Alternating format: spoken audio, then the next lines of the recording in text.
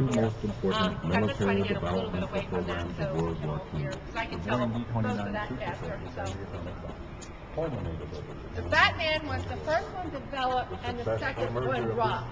That is a plutonium weapon, and that is an implosion bomb.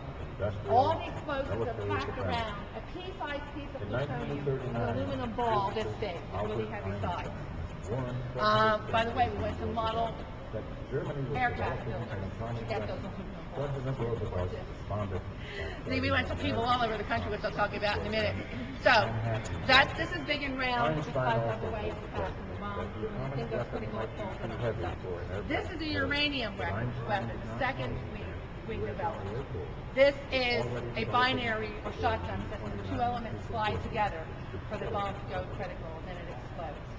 We experimented after the war with both types of these techniques, uranium and plutonium, and ultimately settled on plutonium.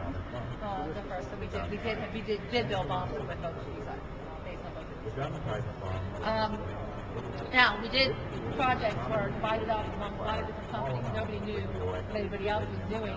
And it's kind of the funniest part for my family. My grandfather was an engineer with what, I don't know if they were United Engineers in the 1940s or not.